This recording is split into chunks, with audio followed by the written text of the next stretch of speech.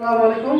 সুপ্রিয় শিক্ষার্থীরা Gurgaon city corporation college তোমাদেরকে অনলাইন ক্লাসে শুভেচ্ছা আহ, করোনার দ্বিতীয় ঢেউ যখন আরম্ভ হয়েছে আমাদেরকে আবার অনলাইন ক্লাসে ফিরে যেতে হচ্ছে। তো আমরা আজকে হিসেব বিজ্ঞান দ্বিতীয় বছরের যৌথ মূলধন কোম্পানির আর্থিক অর্থাৎ হিসেব বিজ্ঞান দ্বিতীয় বছরের পঞ্চম অধ্যায়ের একটি অঙ্ক রাজশাহী কুমিল্লা চট্টগ্রাম বরিশাল বোর্ড দু হাজার আঠারো। যে অঙ্কটি পরীক্ষা আসছে, আমি সে অঙ্কটার মধ্যে করাবো। অঙ্কেটা আমি আর কথা না বলে শুরু করি। Alpha company limited.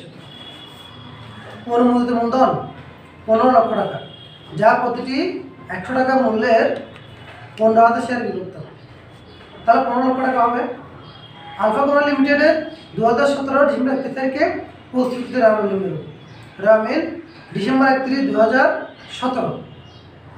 শেয়ার মূলধন বারো হাজার শেয়ার, বারো লক্ষ টাকা দশ টাকা করে আমি লিখব দায়ের পাশে। এখানে দায়ের পাশে চারটা কর মুখস্থ রাখতে হবে। এক নম্বর হচ্ছে শেয়ার মূলধন, দুই নম্বর হচ্ছে সঞ্চিত উদ্বৃত্ত, তিন নম্বর হচ্ছে দীর্ঘমেয়াদী দায়, চার নম্বর হচ্ছে চলতে দেয়। আর সম্পত্তির পাশে চারটা পয়েন্ট মনে রাখতে হবে। এক নম্বর পয়েন্ট হচ্ছে, এক নম্বর পয়েন্ট হচ্ছে স্থায়ী সম্পদ, দুই নম্বর হচ্ছে বিনিয়োগ, তিন নম্বর হচ্ছে চলতি সম্পত্তি, চার নম্বর হচ্ছে অন্যান্য সম্পত্তি। শিক্ষার্থীরা, তোমরা খেয়াল করো, তাহলে সংরক্ষিত আয় হিসাব এটা হচ্ছে বিগত বছর লিখলাম মজুত পণ্যের বিক্রিত পণ্যের ব্যয়, ক্রয় ও বিক্রয়। ক্রয় হচ্ছে বিক্রিত পণ্যের ব্যয়, বিক্রয় হচ্ছে পরিচালনায়। ফেরত, ডেবিটটা বিক্রয় ফেরত, ক্রেডিটটা ক্রয় ফেরত। প্রাপ্য হিসাব চলতি সম্পত্তি, প্রদেয় হিসাব চলতি দায় কল কবজা স্থায়ী সম্পত্তি পুঞ্জীবিত অবস্থায় কল কবজা এটা কল কবজা থেকে বাদ দিব আমি, বর্তমান বছর অবশ্যই যোগ করে। প্রাপ্য নোট চলতি সম্পত্তি, ব্যাংক জমা চলতি সম্পত্তি, নগদ শুল্ক খরচ।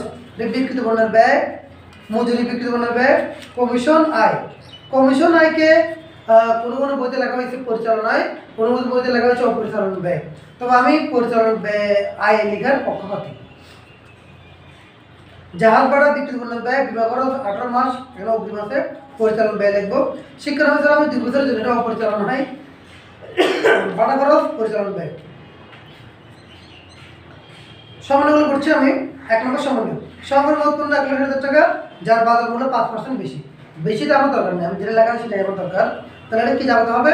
সম্পূর্ণ উৎপন্ন ডেবিট ক্রয় হিসাব ক্রেডিট নাম্বার টু প্রাপ্য হিসাবের পাঁচ হাজার টাকা আদায়যোগ্য নয়। তাহলে কি জানাতে হবে? জানাতে হবে এই পাওনা হিসাব ডেবিট প্রাপ্য হিসাব আর নাম্বার থ্রি কল কবজার উপর আট পার্সেন্ট অবচয় অবচয় ডেবিট কল কবজা ক্রেডিট অলিখিত ধারে ক্রয় পনেরো হাজার টাকা। যাবে ক্রয় ডেবিট প্রদেয় হিসাব ক্রেডিট পাঁচ হাজারকে ইস্যুকৃত চেক প্রত্যেকটা আট হাজার টাকা। যে হিসাব বইতে লেখা হয়নি। আমি পাঁচ হাজারকে চেক দিলাম। কিন্তু পাঁচ হাজার চেকের টাকাটা ব্যাংক থেকে তুলে নিতে পারে নাই। প্রত্যেকটা তো হয়েছে। তার মানে আমার পাঁচ হাজার কমে নাই। পাঁচ হাজারকে বাড়াতে হবে আবার তো কি যাবে হবে? যাবে হবে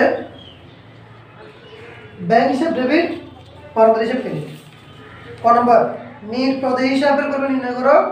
বিকৃত পণ্যের ব্যয় নির্ণয় করো। মোট পণ্য টাকা ধরে? নিট পণ্য নির্ণয় করো? তাহলে ক নিট প্রদেয় হিসাবের পরিমাণ নির্ণয় করো। নিট প্রদেয় হিসাবের পরিমাণ নির্ণয় করো। তাহলে স্টার্ট নিট বড় বড় বিবরণ, টাকা টাকা।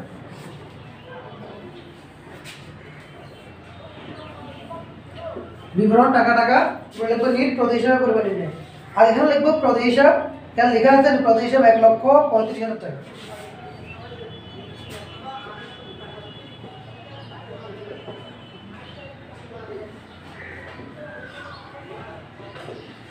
এক লাখ পঁয়ত্রিশ লিখলাম এরপর এখানে বলছে আমাকে যে প্রদেশ যে সমন্বয়গুলো আছে একটু বলে আমি, অলিখিত ধারা প্রায় পনেরো হাজার টাকা। এটা করতে হবে একবার প্রয়ের সাথে আর একবার প্রদেশের সাথে। যোগ ধারে ক্রয়। তা হচ্ছে, ধারে ক্রয় হচ্ছে পনেরো হাজার তাহলে যোগ করলে হবে এক লক্ষ পঞ্চাশ টাকা। তারপরে সমন্বয় বলতে আমাদেরকে, বারো হাজারকে ইস্যু করতে চেক দেওয়া হয়েছে আট হাজার টাকা আমরা বলছিলাম, যে আমরা বলছিলাম এরকম যে যে ব্যাংক ডেবিট বারো হাজার ক্রেডিট যুগ।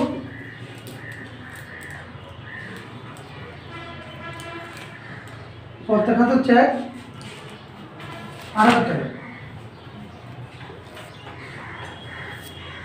এই টাকাকে বলা হয় নিট হিসাব আমরা দুই মার্ক পেয়ে গেলাম। এবার খ নম্বর আসো। খ নম্বর বলতে আমাদেরকে বিকৃত পণ্যের ব্যয় নির্ণয় করো, বিকৃত পণ্যের ব্যয় নির্ণয় করো। কস্ট অফ গুডস সোল্ড নির্ণয় করতে বলছে তাহলে পরিষেবায় বিক্রিত পণ্যের ব্যয়। তাহলে গড়টা কীরকম হবে? বিবরণ, টাকা টাকা টাকা। একটা হিসেবে সেক্ষেত্রে মনে রাখবা, বিকৃত পণ্যের ব্যয় শুধু নির্ণয় করতে বললে, বিকৃত পণ্যের ব্যয়ের মধ্যে বিক্রয় আসবে না। মোট লাভ নির্ণয় করতে বললে বিক্রয় লাগবে। তাহলে গড়টা হবে যে গড়টা আমরা লিখব, আলফা কুমার লিমিটেড, বিকৃত পণ্যের ব্যয় নির্ণয়, ডিসেম্বর একত্রিশ, দুই হাজার সতেরো। কিন্তু আমার বুকটি খুব বেশি বড় না, আমি হ্যান্ডলাইনটা লিখলাম না তোমরা অবশ্যই হাতের উপরে হ্যান্ডলাইন লিখবা।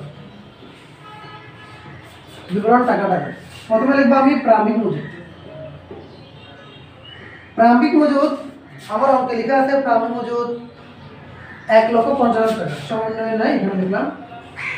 এরপর লিখব আমি ক্রয়। ক্রয় আমার অঙ্কে লেখা আছে ক্রয় আট লক্ষ সত্তর হাজার টাকা। মাইনাস ক্রয় কোনটি ক্রেডিটটি বিক করব। ক্রেডিটটি ক্রয় থেকে বাদ, আর ফেরত ডেবিটটি বিক্রয় থেকে বাদ। তাহলে ফেরত ক্রেডিট থেকে লেখা আছে ছয় হাজার টাকা। ধরো আট লক্ষ চৌষট্টি হাজার টাকা। তো সম্বন্ধে বলা আছে, ধারে ক্রয়। তাহলে ধারে ক্রয় অলক্ষিত করে করতে হবে।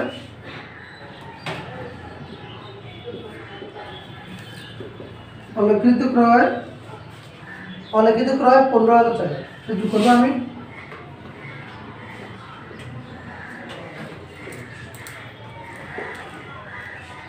আট লক্ষ উনআশি হাজার টাকা।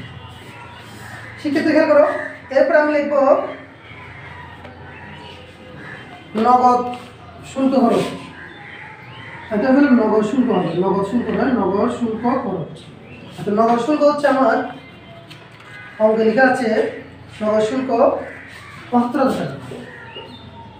টাকা লিখলাম। তারপর আমি লিখব মজুরি। মজুরির মধ্যে আমার সম্বন্ধ নেই। মজুরি আমার লেখা আছে অঙ্কের মধ্যে ষাট হাজার টাকা। শিক্ষার্থী লেখা করো তারপর লিখব জাহাজ ভাড়া। জাহাজ ভাড়া। জাহাজ ভাড়া আমার অঙ্কে লেখা আছে পঞ্চান্ন হাজার টাকা। আমি এগুলো সবগুলো যোগ করব। সবগুলো যোগ করা আমার দায়িত্ব। আমি যোগ করছি। আট লক্ষ উনাশি হাজার প্লাস পঁচাত্তর হাজার প্লাস ষাট হাজার প্লাস পঞ্চান্ন হাজার। আমি যোগ করে পেলাম দশ লক্ষ উনসত্তর হাজার। টাকা ওটাকে আমি যোগ করছিলাম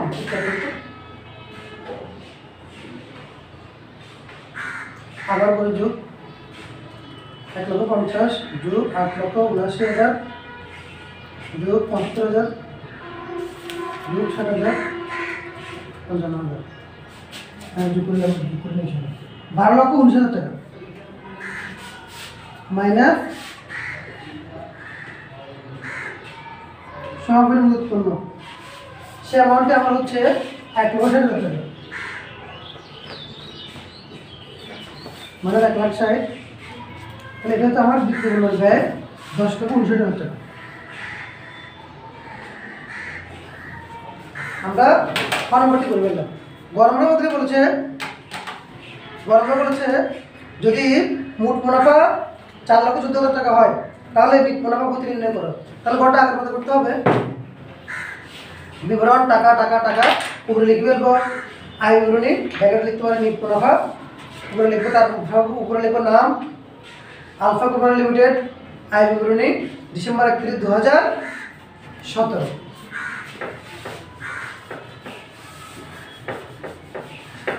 শিক্ষার্থীদের খেয়াল করতে হবে সবাই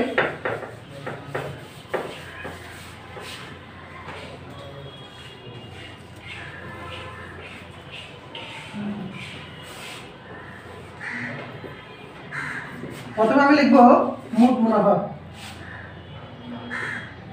মুনাফা লিখলি লিখতেছি আমার অঙ্ক দেওয়া আছে। মোট মুনাফা হচ্ছে যে মোট মুনাফা হচ্ছে চার লক্ষ চোদ্দ হাজার টাকা। এখানে লিখে ফেলব যেহেতু কিছুক্ষণ আগে আমি বলছিলাম তোমাদেরকে, এখানে কমিশনার লেখা আছে। এটা আমি পরিচালনায় মনে করি। এটা আমাকে সরি পরোক্ষ পরিচালনায় মনে করি। যেটা আমাকে এখানে করতে হবে। যোগ আসলে ঘরটা করতে হয় না লিখতে হয় না। একমাত্র কমিশন থাকলে বা টাউট থাকলে এটা লেখা দেয় পরোক্ষ পরিচালনায় তাহলে লিখে ফেলব কমিশন আয় তাহলে আমার কমিশন হচ্ছে এখানে, আমার কমিশন হচ্ছে এখানে চুয়াল্লিশ হাজার টাকা। যোগ করি। আট, পাঁচ, চার। তাহলে এখন বাকি কাজগুলো করব আমি। বাদ পরিচালন আমি লিখছি। যোগ অপরিচালন আয় বাদ অপরিচালন ব্যয় এখানে আটটা আইটেম লেখাচোনা জায়গা রাখবা, এখানে তিনটা আইটেম লেখাচোনা জায়গা রাখবা, এখানে তিনটা আইটেম লেখাচোনা জায়গা রাখবা। শিক্ষার্থীরা খেয়াল করো, আমি খুব বেশি সময় এখন করব না, দ্রুত অঙ্কটি করার চেষ্টা করছি। তাহলে শেয়ার বন্ধু সংরক্ষিত আয় মূল মূল লাগবে না লাগবে না লাগবে না, প্রাপ্য পয়সা প্রদেশ লাগবে না কল কবজা লাগবে না। কিন্তু কল কবজার অবচয় লাগবে। কল কবজার অবচয় হলো আট পার্সেন্ট এখানে আমার কল কবজা লেখা আছে, এখানে কল কবজা লেখা আছে এক লক্ষ দশ লক্ষ টাকা।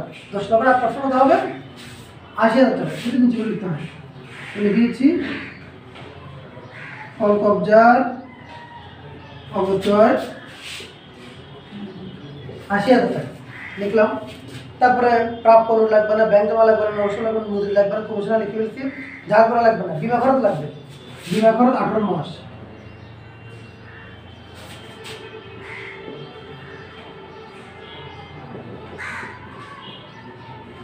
আঠারো মাস। তাহলে লেখা আছে আঠারো মাস, নব্বই হাজার টাকা। নব্বই হাজার টাকা লেখা খরচ নব্বই হাজার হচ্ছে আঠারো মাস। তাহলে বারো মাসে কত হবে? নব্বই হাজার ভাগ বা- ভাগ আঠারো, এক মাসে পাঁচ হাজার। বারো মাসে কত? বারো মাসে হাজার বাকি হলো অব্দি অর্থাৎ এটা হচ্ছে খরচের ঘর। এটা খরচের ঘর, এটা আয়ের ঘর। এটা হচ্ছে নিট খরচের ঘর। তাহলে আমার খরচ হবে বারো মাসে হাজার টাকা। দেখা লেখা নব্বই হাজার টাকা। বাড়তিগুলো অব্দি আমি পে করলাম আমি বললাম বিমা লেখা আছে নব্বই হাজার বাদ আঠারো গুণ বারো। বাদ আঠারো গুণ বারো। এরপর শিক্ষার্থী খেয়াল করো শিক্ষানবী সাল আমি দুই বছরের জন্য। এখানে লিখব আমি শিক্ষানবী সালামে আয় লিখব। শিক্ষানবী সালামে দুই বছরের জন্য, সংখ্যা লিখে দিব দুই বছর। তারপরে হচ্ছে আমার তিরিশ হাজার টাকা। দুই বছরের জন্য। তাহলে এক বছরের জন্য আয় আর এক বছরের অগ্রিম। তাহলে অগ্রিম শিক্ষানবী সালামে হচ্ছে আমার পনেরো হাজার। দুই বছরের জন্য তিরিশ হাজার টাকা হলে এক বছরের জন্য পনেরো হাজার টাকা। এরপর লেখো ভাড়া খরচ। ভাড়া খরচ। ভাড়া খরচ, সেটা আমি লিখব আটান্ন হাজার টাকা। আর এক নম্বর সমন্বয় সম্বন্ধ লাগবে না, প্রাপ্য হিসাব। ও, প্রাপ্য হিসাবে পাঁচ হাজার টাকা আদায় যোগ্য নয়, এটা প্রাপ্য হিসাব থেকে বাদ আর বেতন লিখতে হবে, অনুযায়ী পাওনা।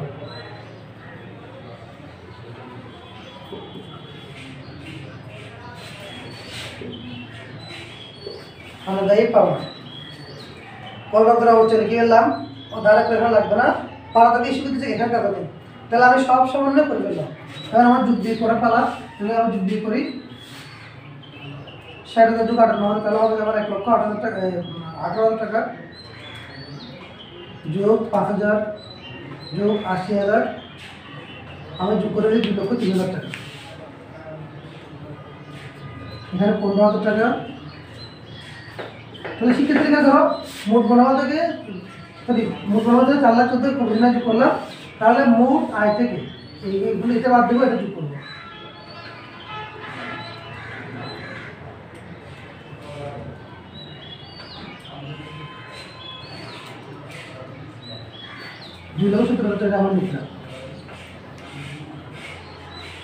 শিক্ষার্থীরা, তোমার যদি অঙ্ক সম্পর্কে কারও কোনো সমস্যা থাকে, তাহলে অবশ্যই আমাকে ইনফর্ম করবে। আমাকে অবশ্যই জানাবে। আমার নাম্বার তোমাদের অনেকের কাছে আছে ফোন করে জানাতে পারবে, অথবা কমেন্টটা লিখতে পারবে। ধন্যবাদ সবাইকে, ভালো থাকবে সবাই, আসসালামু আলাইকুম, রহমতুল্লাহ